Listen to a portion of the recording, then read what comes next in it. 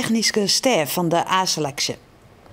Timo Klompen is naast Henk Herder en Jan de Jonge de tweede assistent van H-trainer Marco van Basten. Klompen zullen bij de A-selectie benam dwanden horen maar het trainen van de verdiegenis. De voetballer wie dit seizoen nog de trainer van de B-junioren van Jereveen en maakt het nou, Jelwal het seizoen, toch nog onverwacht de oerstap naar de eerste selectie. Ja, dat kwam wel een beetje als verrassing, want ja, je zit midden in het seizoen en ik heb B1. Dus uh, ja, normaal en gangbaar is, is dat je dat toch ja, misschien gaan, uh, op de helft van een seizoen. Maar het mooiste is als je het aan het begin van een seizoen doet of wat dan ook. Maar ja, in de voetballerij gebeuren wel eens dingen. Nou ja, die, die kun je niet, heb je niet al, dat heb je niet altijd, uh, hoe zeg je dat, in de hand.